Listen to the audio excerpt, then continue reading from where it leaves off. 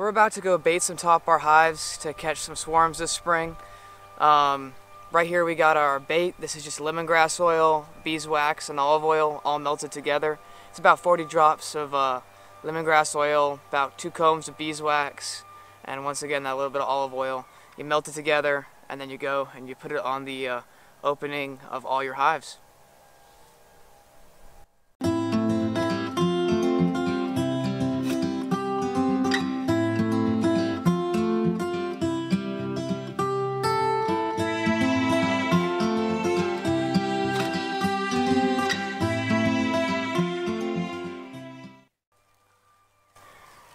Now that we just finished baiting our hives, all we gotta do now is wait just a few days, see if we catch any bees.